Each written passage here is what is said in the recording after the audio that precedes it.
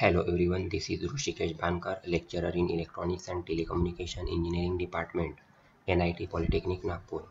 Today we will start the unit number 2 that is audio systems.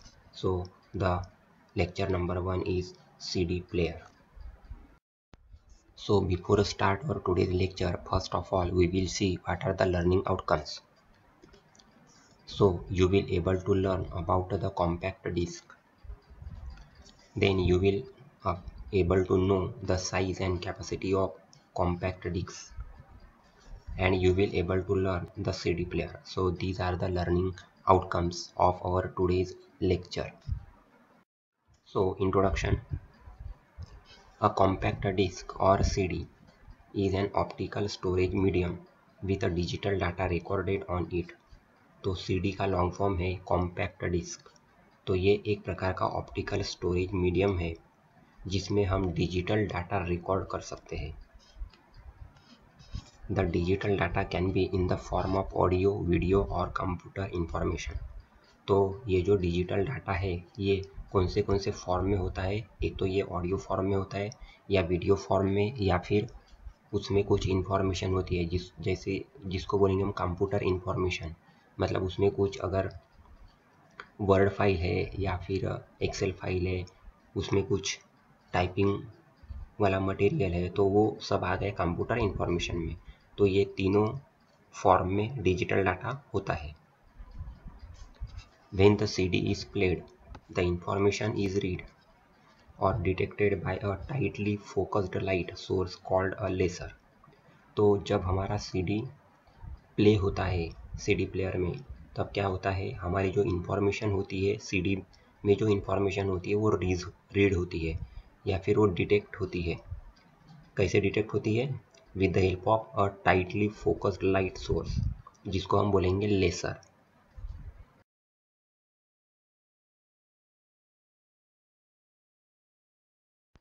So, by the late 1970s, a common set of standards for the optical storage disks had been developed by the joint efforts of Sony and Philips. तो 1970s की बात है Soni and Philips की CDs निकली थी that is optical storage disc A consumption of 35 hardware manufacturers agreed to adopt this standard in 1981 and the first compact discs and compact disc players were introduced in the market in 1982 तो market में कब आया?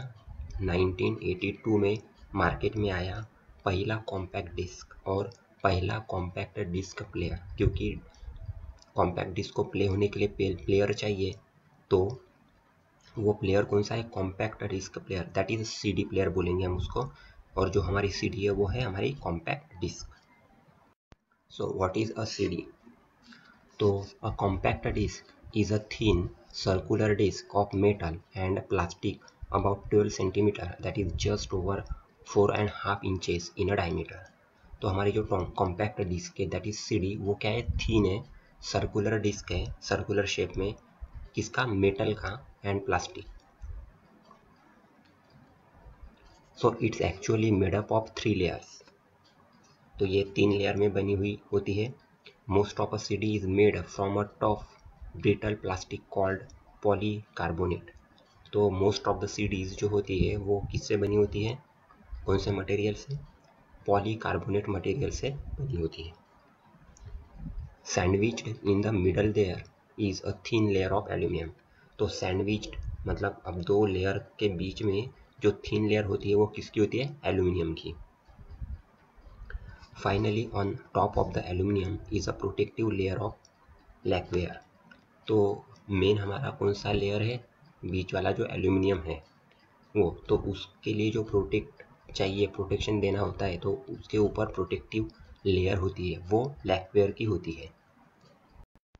So the first thing you notice about a C D is that it is a shiny on one side and dull on other side तो इसमें जो CD आपने देखा होगा तो CD का जो ऊपर का लेयर ऊपर का जो टॉप लेवल होता है, वो डल ऑन द डल होता है और जो नीचे का पोर्शन होता है, वो शाइनी होता है shiny side the dull side usually has a label on it telling you what's on the C the shiny side is the important part तो जो शाइनी पार्ट होता है, उसमें ही हमारा इन्फॉर्मेशन होता है और जो डल साइड होता है, वहाँ पर हम लेबलिंग करते हैं। लेबलिंग के लिए होता है कि इस सीडी के अंदर क्या है, क्या मटेरियल है, उसका लेबलिंग करने के लिए वो डल साइड होता है।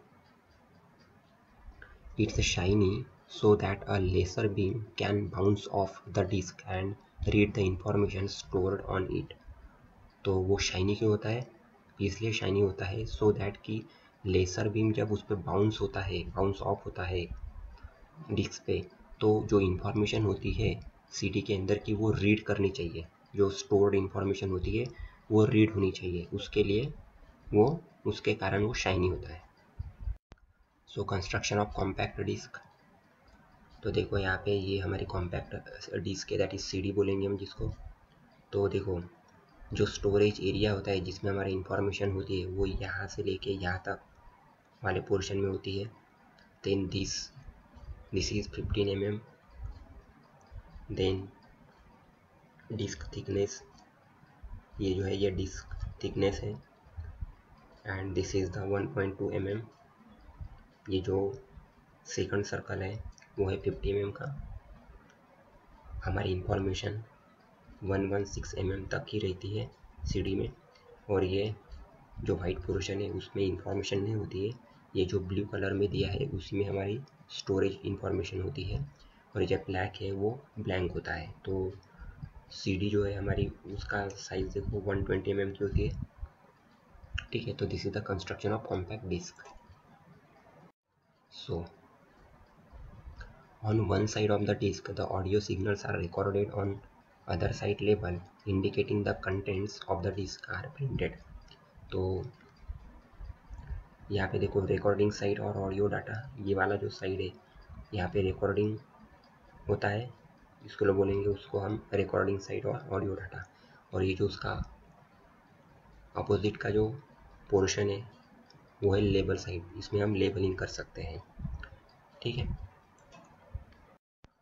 Now the size and capacity so the diameter is 4.75 inch that is 120 mm then hole to insert CD is 15 mm then the actual storage area is 33 mm circular the disk thickness is 1.2 mm a standard CD can store up to 74 minutes of data that is audio information तो जो एक आधी standard जो CD होती है वो up to 74 minutes of data audio signal store कर सकता है However, most CDs contain only about 50 minutes of music, all of which is recorded on only one side of the CD, that is the underside.